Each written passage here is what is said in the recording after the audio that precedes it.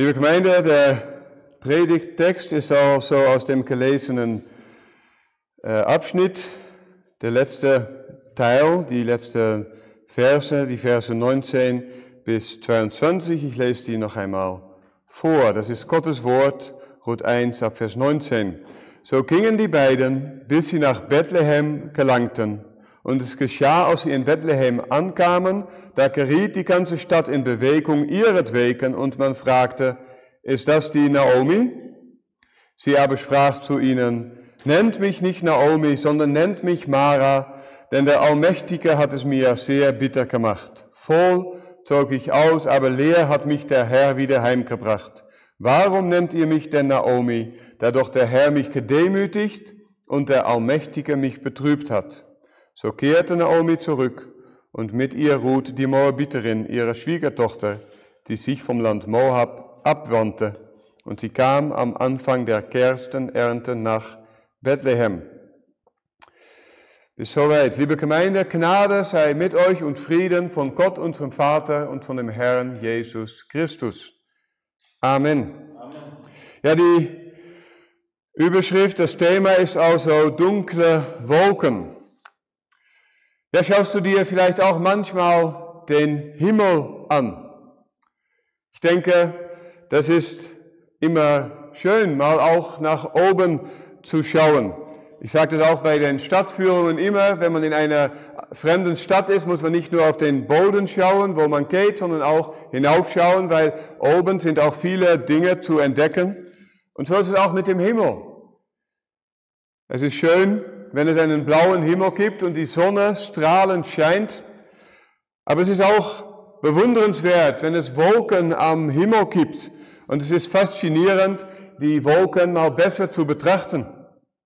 Manche entdecken da viele Sachen. Manchmal sieht ein, sehen die Wolken aus wie ein Kreuz. Oder jemand sagte mal, er sah äh, die Wolken in der Form einer Landkarte von Österreich und hat so gewusst, er muss nach Österreich als Missionar oder andere sehen ja wieder andere Dinge in den Wolken. Der andere sieht äh, vielleicht ein Gesicht oder ein Schaf. Der Himmel ist irgendwie fesselnd und eigentlich tun wir das viel zu wenig, dass wir hinaufschauen und schauen, was hat die Luft uns heute zu sagen, was will Gott uns aus dem Himmel erzählen. Außer dass wir über buchstäbliche Wolken sprechen, können wir auch über symbolische Wolken in unserem Leben reden. Wenn dunkle Wolken sich über deinem Leben zusammenziehen, dann hast du eine schwierige Zeit oder dann kommt etwas Mühsames auf dich zu. Und vielleicht erfährst du es auch gerade so, dass das in deinem Leben so ist. Manche Ereignisse, die bevorstehen, können sich wie dunkle Wolken anfühlen, dass es finster ist und dass du, wenn du hinaufschaust, auch nur diese dunkle Wolken siehst. Ja, und wenn wir hier dunkle Wolken sehen, seit kurzem haben wir dann in Überbach auch ein bisschen mehr Furcht. In letzter Zeit haben wir schreckliche Unwetter in der Steiermark, die mancherorts zu Überschwemmungen und zu großen Problemen führen. Und so kann man auch richtig Angst bekommen, wenn man sieht, wie dunkle Wolken sich zusammenpacken. Aber dunkle Wolken bedeuten immer mehr als nur, dass es schwierig ist und dass Probleme kommen. Es ist von den dunklen Wolken in deinem Leben auch einiges zu lernen. Und das hat Naomi lernen müssen. Und ich denke, wir müssen das auch jedes Mal aufs Neue lernen. Das Thema ist also dunkle Wolken. Ich habe drei Punkte. Erstens, dunkle Wolken nehmen die Sicht. Zweitens, dunkle Wolken verbergen die Sonne. Und drittens, dunkle Wolken enthalten Segen. Noch einmal, wenn du es aufschreiben willst, dunkle Wolken nehmen die Sicht, dunkle Wolken verbergen die Sonne und dunkle Wolken enthalten Segen. Zuerst also, dunkle Wolken nehmen die Sicht.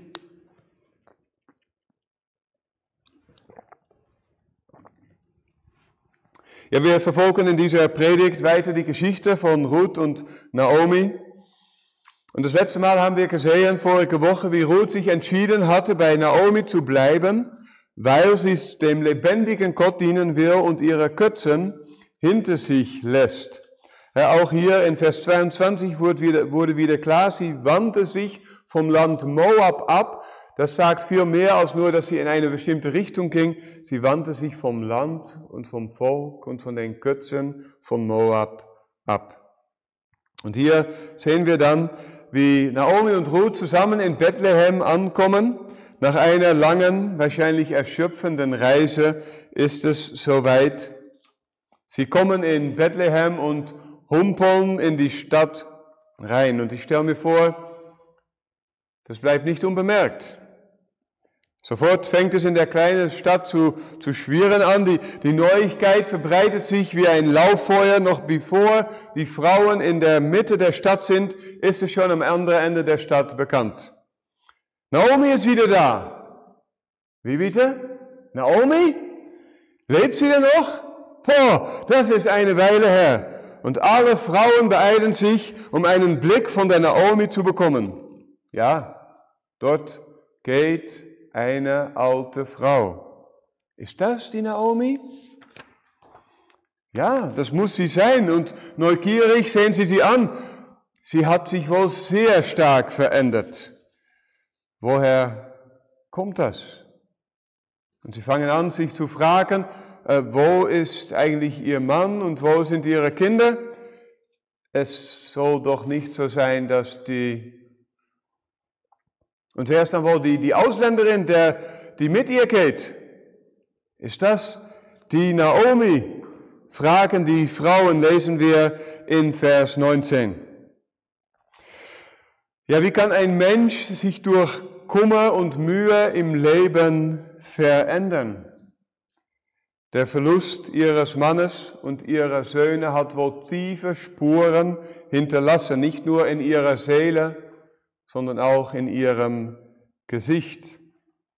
Ja, manchen Menschen sieht man an, dass sie durchs Leben, fürs Leben gezeichnet sind. Man sieht die Entbehrungen, die Menschen erlitten haben in ihren Augen. Es kann sein, wenn du mit Flüchtlingen zu tun hast, die eine lange Reise hinter sich haben und dann jetzt in deiner Nähe wohnen. Es können auch deine Nachbarn sein, die so einiges im Leben miterlebt haben oder auch deine Geschwister in der Gemeinde. Was für eine Menge Elend gibt es in der Welt und was haben Leute viel zu leiden.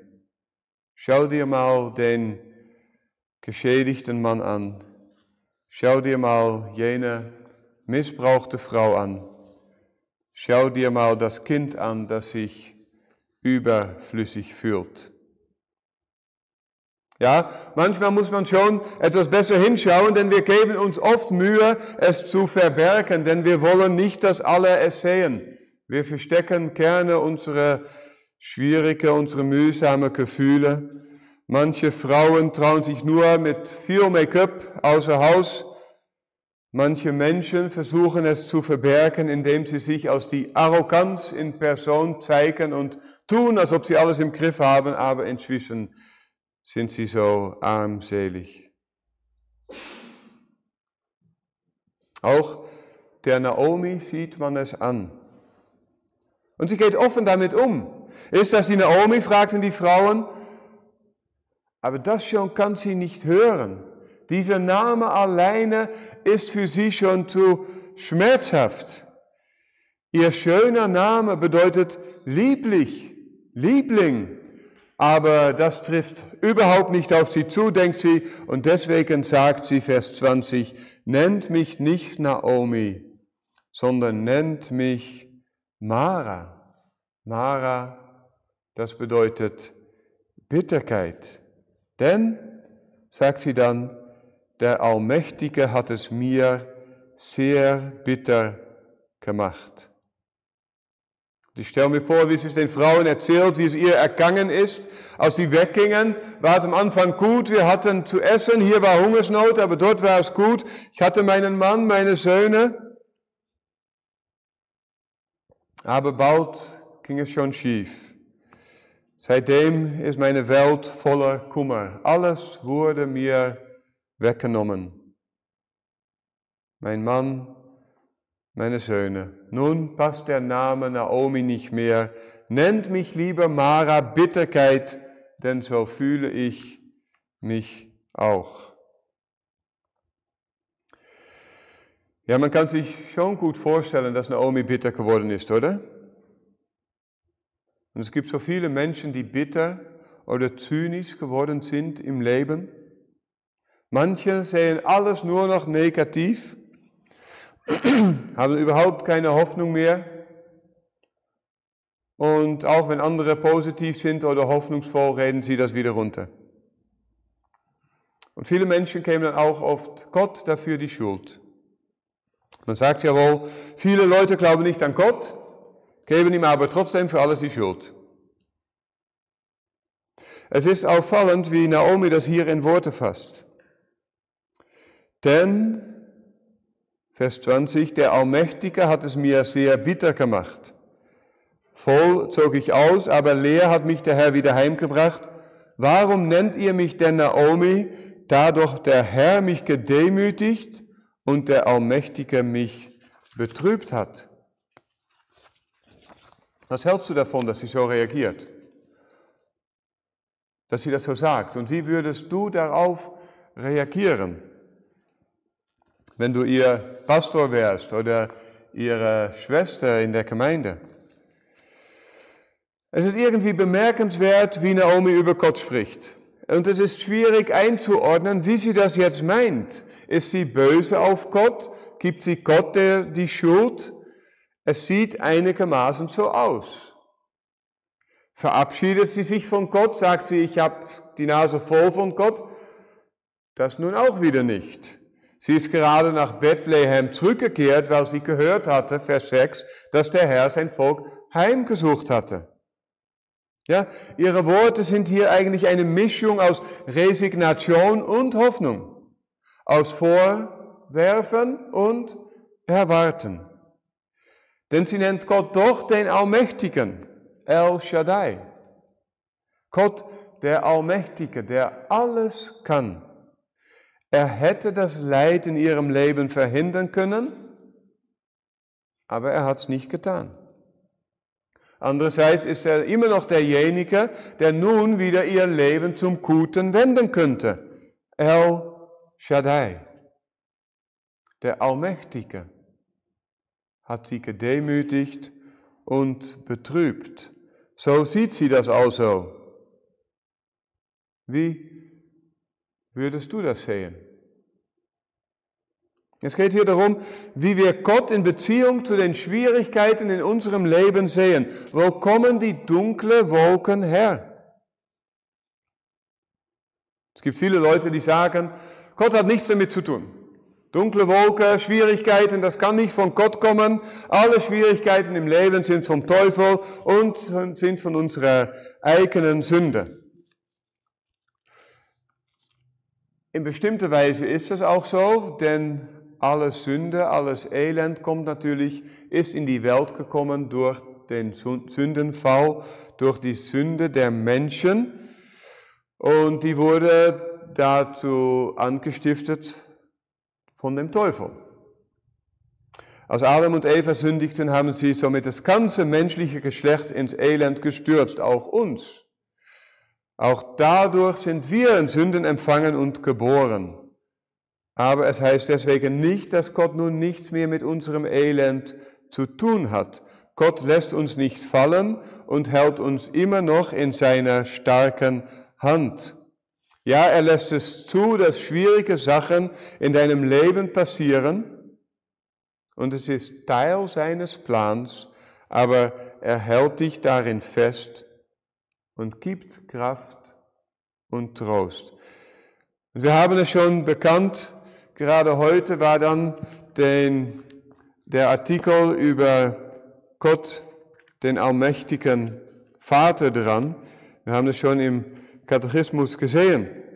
Was glaubst du, wenn du sprichst, ich glaube an Gott, den Vater, den Allmächtigen, den Schöpfer Himmels und der Erde? glaube, dass er mein Gott und mein Vater ist, dass er alles erschaffen hat und er hält und regiert sie noch immer durch seinen ewigen Rat und seine Vorsehung. Auf ihn vertraue ich und zweifle nicht, dass er mich mit allem versorgt, was ich für Leib und Seele nötig habe. Und ja, das finden wir alles noch sehr schön und gut. Und geht dann weiter, und auch alle Lasten, die er mir in diesem Leben auferlegt, mir zum Besten wendet. Er kann es tun als ein allmächtiger Gott, El Shaddai, und will es auch tun als ein getreuer Vater. Und dann wird in dem zehnten Sonntag, Frage 27 und 28 weiter ausgeführt, was bedeutet diese Vorsehung Gottes. Und das sind Worte, da kann man schon damit ringen, das ist nicht immer so einfach zu akzeptieren, aber gerade dieses Bekenntnis gibt doch auch viel Halt und Trost und Kraft. Aber noch einmal, wegen der dunklen Wolken sehen wir das nicht immer so gut. Und dann können wir auch manchmal böse werden auf Gott. Dann können wir auch bitter werden wie Naomi. Und das ist irgendwie verständlich, aber das hat dann auch damit zu tun, dass du nicht alles siehst, dass du nicht alles weißt. So nehmen die dunklen Wolken die Sicht auf Gott. Dunkle Wolken nehmen die Sicht. Sie nehmen die Sicht auf Gott. Und auf noch eine andere Art können die Wolken deine Sicht verhüllen. Das sehen wir auch bei der Naomi. Sie hat vieles erlebt, das stimmt schon. Aber will das sagen, dass sie jetzt ganz leer zurückgekommen ist, wie sie sagt? Voll zog ich aus, aber leer hat mich der Herr wieder heimgebracht?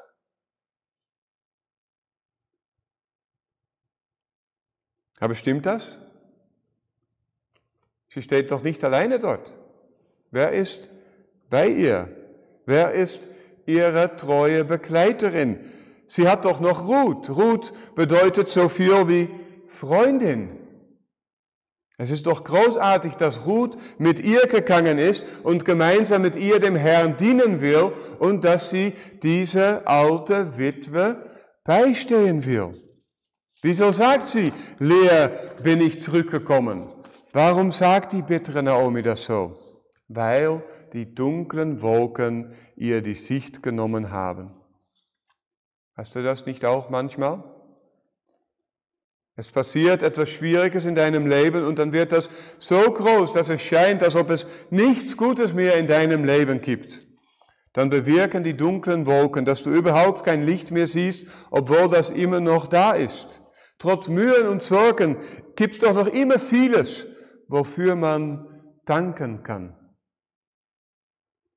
Aber die dunklen Wolken nehmen dir da die Sicht.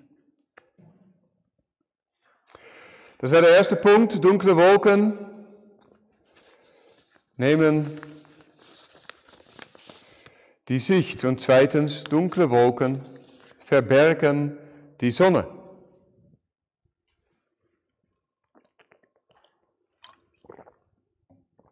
Man sagt ja bekanntlich, hinter den Wolken scheint die Sonne. Und es ist wahr, auch wenn es ein Argument ist, das manchmal nicht viel hilft und eine Diskussion nur totschlägt. Aber es ist wahr. Vor allem im Glauben ist es wichtig zu sehen, dass die Sonne immer da ist, auch wenn du sie nicht siehst. In der Bibel ist die Sonne Symbol für Gottes Güte und Licht, womit er für seine Kinder sorgt. Zum Beispiel im Psalm 84 sagt uns das Gottes Wort am Ende, Psalm 84, Vers 12, denn Gott der Herr ist Sonne und Schild. Der Herr gibt Gnade und Herrlichkeit. Wer in Lauterkeit wandelt, dem versagt er nichts Gutes. Gott ist Sonne und Schild. Und die Sonne ist auch Symbol für Jesus Christus. Im Buch Malachi, im letzten Buch des Alten Testamentes, wird angekündigt, dass Jesus kommt und das passiert mit den Worten in Malachi 3, Vers 20, euch aber, die ihr meinen Namen fürchtet, wird die Sonne der Gerechtigkeit aufgehen und Heilung wird unter ihren Flügeln sein. Wer ist da gemeint? Das ist der Herr Jesus Christus. Er ist die Sonne der Gerechtigkeit und Heilung wird unter ihren Flügeln sein. Bei Jesus Christus finden wir Heilung. Und das ist eine reiche Verheißung und ein trostvolles Wort. Hinter den Wolken scheint die Sonne, aber Naomi, Naomi sieht es nicht. Sie fürchtete schon irgendwie den Namen Gottes, denn sie nennt ihn El Shaddai, Gott den Allmächtigen. Aber sie sah nicht, dass er auch die Sonne in ihrem Leben aufgehen lassen würde. Sie hatte keine Hoffnung mehr. Oh Naomi, wenn du nur wüsstest, was alles noch passieren wird, wenn du nur wüsstest, was Gott mit dir und Ruth noch vorhat, wenn du nur wüsstest, dass gerade durch deine Schwiegertochter letztendlich diese Sonne in Israel scheinen wird, ja sogar die ganze Welt beleuchten wird, dann würdest du jetzt wohl anders reden, oder? Aber wegen der dunklen Wolken siehst du es wohl nicht. Und ja, vielleicht kennst du das auch. Du weißt schon, dass Jesus da ist und dich liebt. Und was gibt es schöner als das, zu wissen, Jesus ist da und er liebt mich. Welch ein Freund ist unser Jesus. Aber wegen der dunklen Wolken in deinem Leben siehst du es nicht und achtest du nicht darauf. Vielleicht denkst du sogar, ich habe mir diese dunkle Wolken selbst verdient. Ich habe mir das alles selbst eingebockt. Es ist meine Schuld, dass ich in diesem Elend stecke. Und manchmal ist es auch so. Wir haben gehört vor einigen Wochen in der ersten Predigt, dass Elimelech und Naomi sündige Entscheidungen getroffen haben. Und es kann auch sein, dass unsere sündigen Entscheidungen zu Problemen in unserem Leben führen. Aber es gibt nicht immer einen direkten Zusammenhang zwischen der Sünde in unserem Leben und dem Elend, in dem wir stecken. Und das ist wichtig, zu betonen, weil in manchen christlichen Kreisen doch gesagt wird, wenn du krank bist, dann wirst du wohl gesündigt haben. Wenn du Geldprobleme hast, dann hast du gesündigt, dann hast du nicht genug Glauben. Und dafür müssen wir doch auch warnen und sagen, es gibt nicht immer einen direkten Zusammenhang zwischen der Sünde in unserem Leben und dem Elend, das wir erleben. Das heißt aber nicht, dass wir nicht unser Leben erforschen sollen, ob es eine Sünde gibt. Aber noch einmal, es gibt nicht immer einen direkten Zusammenhang. Wenn du Jesus Christus kennst als deinen Herrn und Heiland, dann musst du auch nicht mehr Angst haben vor der Strafe für die Sünde. Vielleicht hast du noch mit den Folgen der Sünden zu tun, aber es gibt keine Verdammnis mehr für die, die in Christus Jesus sind, weil er das Urteil getragen hat. Und so ist er die Sonne geworden, die Gerechtigkeit ist, die Sonne der Gerechtigkeit und er bringt Gerechtigkeit und hinter den Wolken scheint er in deinem Leben, wenn du gläubig bist. Vielleicht werfen andere dir alles Mögliche vor. Vielleicht klagt dich dein Gewissen an, aber du darfst diese Zuversicht haben. In Christus bin ich von der Verdammnis befreit und bin ich Teil, habe ich Teil an Christi Gerechtigkeit.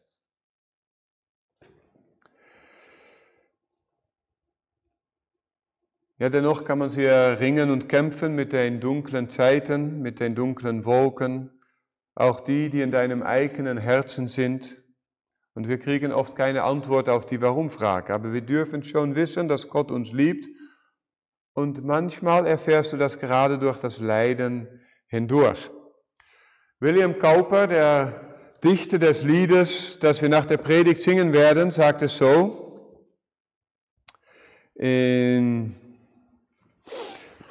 der zweiten Strophe in der Mitte, bewerte nichts nach Augenschein, vielmehr vertraue ihm, denn hinter allem, was geschieht, sein guter Wille steht.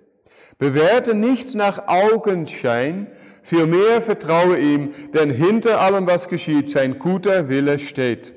Der Originaltitel des Liedes ist God moves in a mysterious way.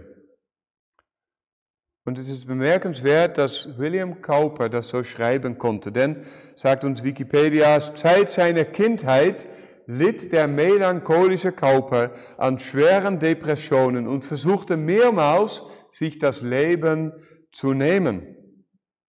Aber trotz der Tatsache, dass es so dunkel war in seinem Leben, schrieb er diese Sätze. Er wusste, die dunklen Wolken verhüllen die Sonne, aber das heißt nicht, dass die Sonne nicht mehr da ist. Ja, die schwierigen Zeiten im Leben verbergen manchmal Gottes Angesicht. Und das ist auch die Frage, der Schrei in Psalm 13. Mein Gott, warum und wie lange noch verbirgst du dich? Aber Gott ist gut und mild. Daran gibt es gar keinen Zweifel. Dunkle Wolken verbergen die Sonne. Und zum Schluss drittens, dunkle Wolken enthalten Segen. Manchmal kann man es den Wolken ansehen, sie sind voller Regen und dann dauert es nicht lange, bis es wie aus Eimern gießt. Und wie gesagt, hier im Überwacher Tal haben wir schon Respekt davor bekommen. Einerseits, auf der anderen Seite, dass es viel geregnet hat in letzter Zeit, ist doch auch der Grund, dass es jetzt so schön grün ist in der Steiermark, dass die Steiermark jetzt mit Recht das grüne Herz Österreichs ist. Denn als wir diese Woche noch nach Baden fuhren, sahen wir, wie es langsam trockener und gelber wurde. Und dann habe ich schon gedacht, wir werden das Grüne in der Steiermark noch vermissen. Und deswegen könnte man auch sagen, Regen ist Segen, oder? Das gilt in unseren Tagen, wenn es zu trocken ist, aber das ist immer, hat immer schon gegolten. Man kannte das in der Bibel auch. Regen ist Segen. Naomi sah die dunklen Wolken und war bitter. Sie meinte wohl, dass Gott sie, sich gegen sie gewandt hatte, aber aus der Fortsetzung der Geschichte stellt sich heraus, dass das gar nicht der Fall war. Und ich denke, dass sie trotz ihrer Worte doch auch auf Gott hoffte. Denn warum war sie sonst nach Bethlehem zurückgekehrt? Sie kam dort an, hin und her gerissen zwischen Furcht und Erwartung, zwischen Angst und Hoffnung, würde Gott sich ihrer trotz allem erbarmen? Das Wunderbare ist dann, dass wir lesen, dass Gott sich tatsächlich erbarmt hat. Der letzte Vers des ersten Kapitels lautet, so kehrte Naomi zurück und mit ihr Ruth, die Moabiterin, ihre Schwiegertochter, die sich vom Land Moab abwandte, und sie kamen am Anfang der Gerstenernte nach Bethlehem. Was war in Bethlehem, als sie ankamen? Eine Ernte. Die Gerstenernte.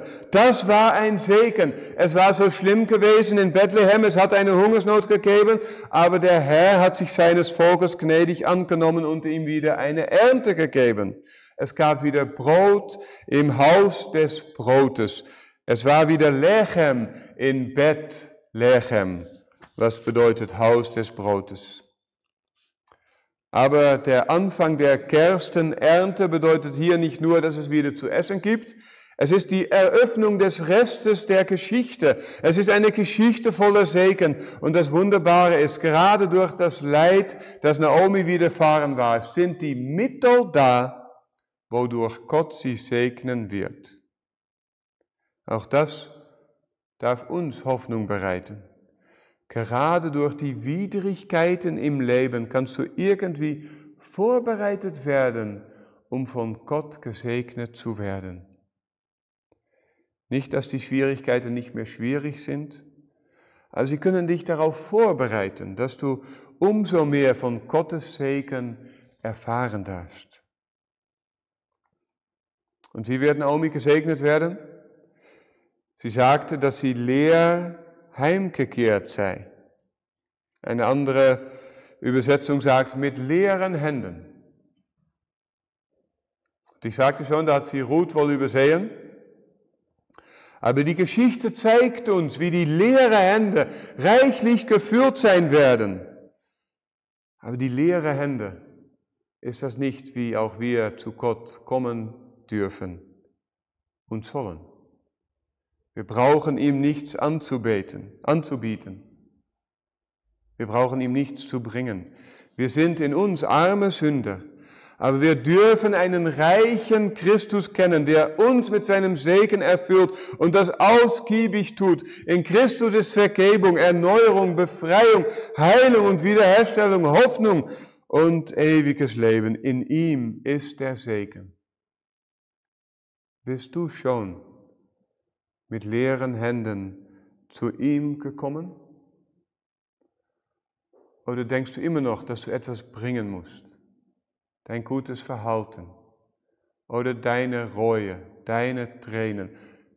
Wir müssen nichts bringen. Leere Hände, das sind Hände, die sonst alles losgelassen haben. Leere Hände, das sind also keine gebaute Fäuste.